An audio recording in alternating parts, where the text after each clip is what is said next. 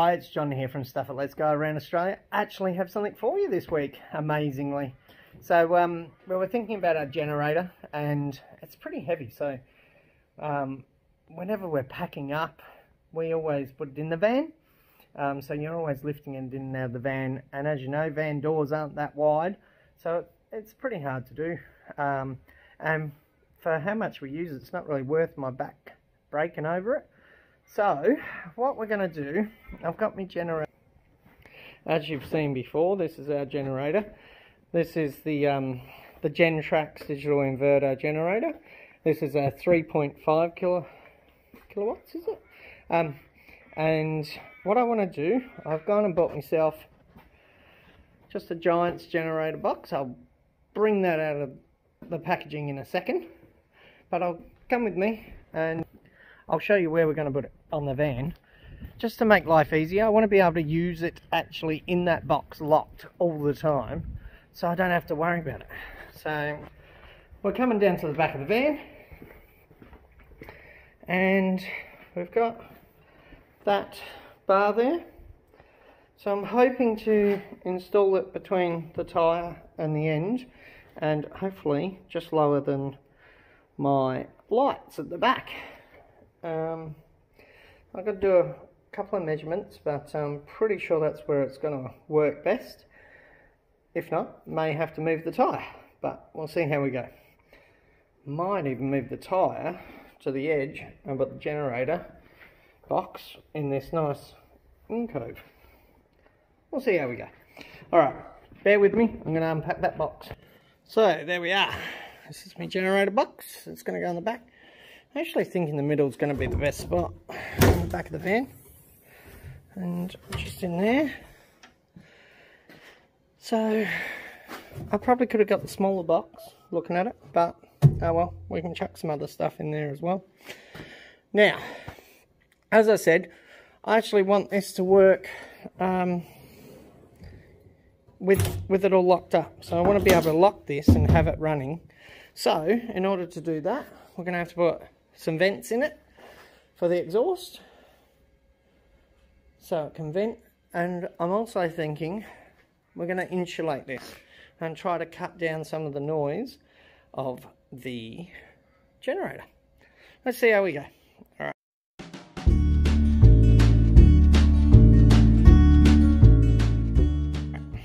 So I've decided I'm going to take that spare wheel off and I'm going to actually put the um, in the middle with the caravan.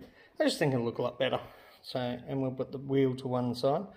So I've got the angle grinder out and we are gonna cut around that. I don't have my tools today, so he's taking my car with my tools. So we're just using to make some keyed stuff. Um, so safety first, put your glasses on, and we're gonna cut that off. Two six. Okay, so I've angle grind ground the um, bracket off for the, the wheel. Now that's probably going to go, I'm thinking we'll reattach him about there, sort of even with that brake light. Hopefully it doesn't cover the brake light. We might have to lower it a bit. We'll see how we go. Um, I've just tidied this up a little, not hugely. The main thing I'm concerned about is this face needs to be nice and flat. Um, so we'll go do some measurements and see what we come up with, eh? Alright. So I've just gone down to the local hardware, got a couple of these. So we're going to put a vent on both sides, intake, outtake. And also got, just like your computer ones, I'm going to pop them, I think, down in there so you can have two cords going through there. Well, got some holes to cut, so see you on the other side. So what we've done here, we've just marked out centre, so on both sides for our two vents. Um, what I'm going to do is I'm going to drill just each corner and then I'll angle grind that out. Okay, so you'll you'll find that that'll work pretty easily. Okay, I'll do that now.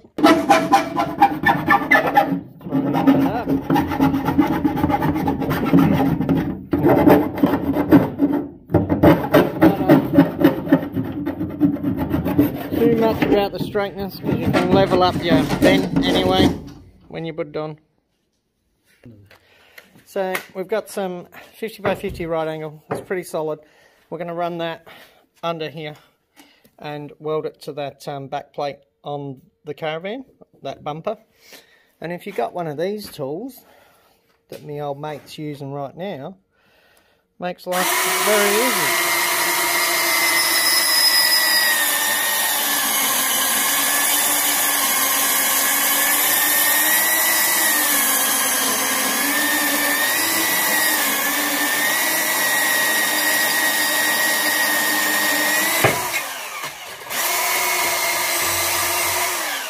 Cutting butter.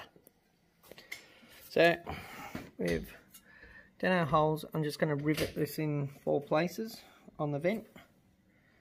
Um, and I've done a bit of just speed of silicone around just to seal that a little. And Bob's your uncle. Now look at all that outback dust. So we decided to take the bar off.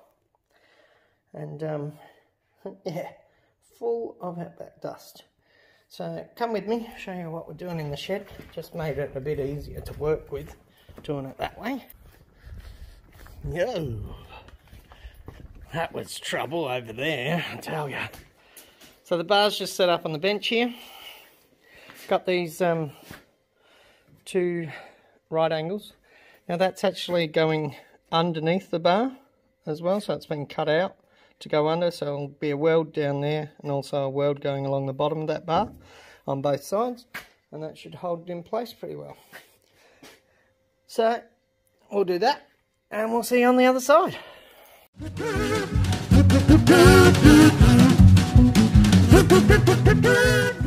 You may have noticed that um, we had to cut that out because some silly person.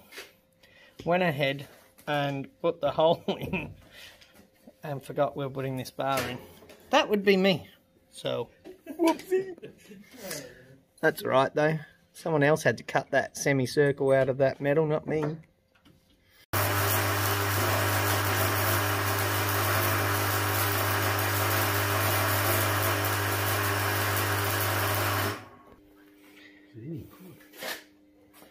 Looks alright. Beautiful.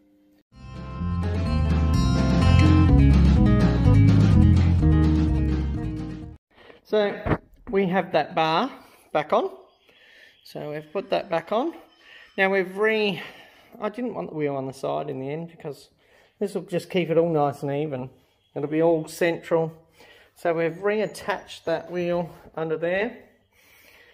Um, it's no lower than pretty much where it was anyway. Um, we've given all the, the bits of metal a spray with some rough um, rust resistant um, spray. Just finishes it off. And with the tyre you probably need two people to put it up but most times you're going to have two people. Worst case scenario you just use your jack and you'd be able to jack it up and um, and bolt it in place anyway. But it's not going anywhere and it's nice and neat. And um, we're going to go get the box and see what that looks like. That's with the box on.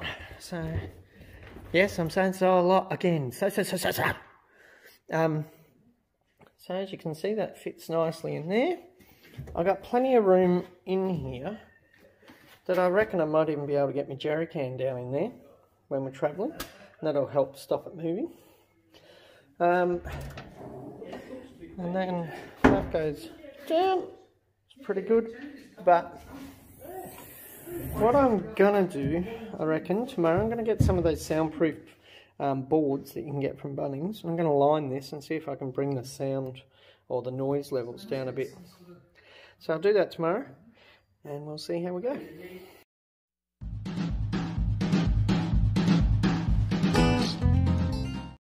Hi, so I went to Bunnings today and I got a couple of sheets of, um,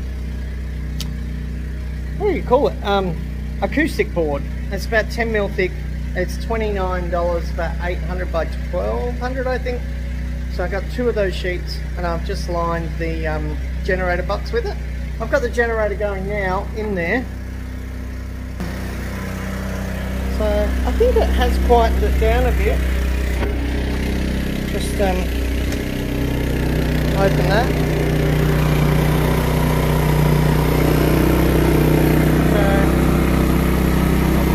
literally just put it on where I can.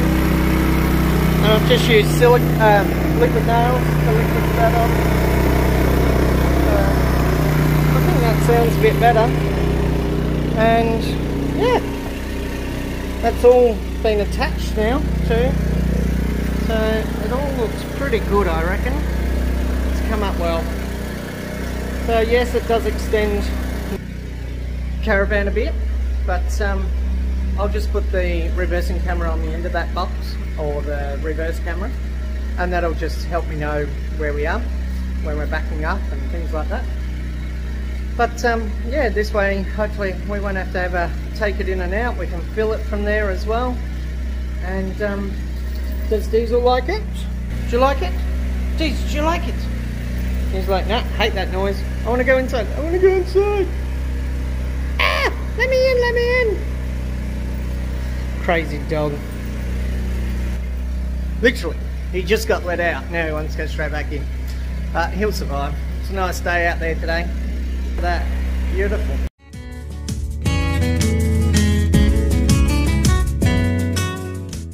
Finished the um, generator box. It's a little ripper actually. It's going to make life so much easier. But we've added a few extra things on there. That's why this video is taking a bit longer. So I'll show you what we've done. So we've actually put an outdoor power point fitted onto the outside of the box. And here, I have hardwire, so that, there's a plug coming out of the, um, like one of the outlets, and that is hardwired into my outside power point. So therefore I don't have to get in and out of here trying to plug stuff in when it's a bit tight in there. I've also got my Anderson plug connected to the DC charger and my caravan Anderson plug which isn't on at the moment it's actually fallen down. Just sits here usually. I've got to re-put it on. And we also because I thought I'd what a great idea. I'll get me um, jerry cans on the back and get them off the car because we're still struggling with a little bit of extra rate, weight on the weight on the car. So I put that on there and then forgot that the exhaust we'd vented out just here, which would have got these way too hot.